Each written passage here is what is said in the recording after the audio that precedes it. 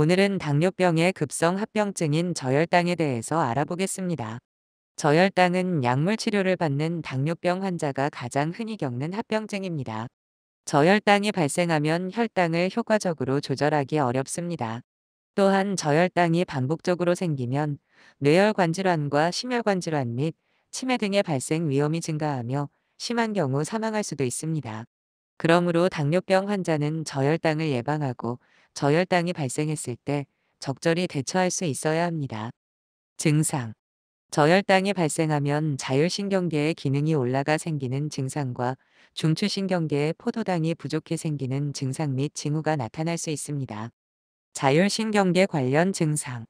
맥박수 증가, 손떨림, 불안감, 식은땀 흘림, 공복감, 중추신경계 관련 증상, 쇠약, 피로, 어지럼, 의식의 변화, 진단, 저혈당이 의심되는 경우 환자가 혈당을 측정할 수 있다면 정확한 진단을 위해 혈당 측정기로 혈당 수치를 확인합니다.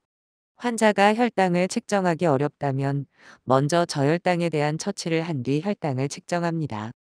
치료 측정한 혈당 수치가 데시리터당 70mg 미만이고 의식이 있는 환자는 15에서 20g의 포도당을 섭취하고 15분간 휴식을 취한 뒤 혈당을 측정합니다. 혈당이 정상 범위로 회복되지 않았다면 포도당 섭취를 반복합니다. 포도당 15에서 20g에 해당하는 음식은 다음과 같습니다. 설탕 15g이나 꿀 15ml, 한 큰 숟가락, 요크르트 100ml 1개, 주스나 청량음료 175ml, 사탕 3개에서 4개, 초콜릿이나 아이스크림처럼 지방이 함유된 음식은 흡수 속도가 느려 혈당이 빨리 올라가지 않을 수 있으므로 저혈당에 대한 처치로 적절하지 않습니다. 환자가 스스로 처치할 수 없거나 의식이 없는 경우에는 음식을 먹이면 안 되고 정맥 주사를 통해 포도당을 주입해야 합니다. 위험 요인 저혈당은 다음과 같은 상황에서 발생할 수 있습니다.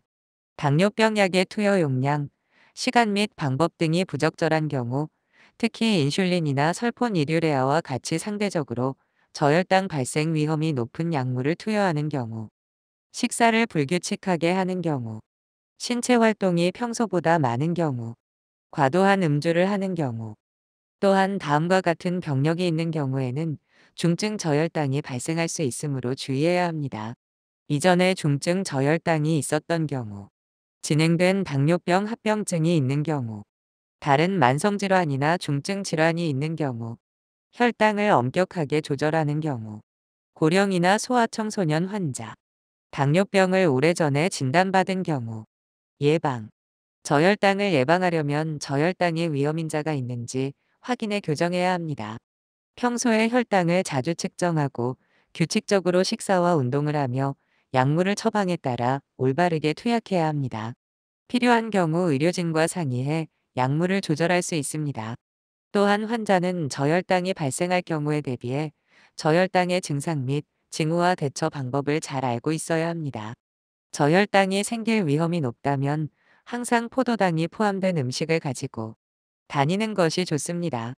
이상으로 당뇨병의 급성합병증인 저혈당에 대해서 알아보았습니다. 시청해주셔서 감사합니다.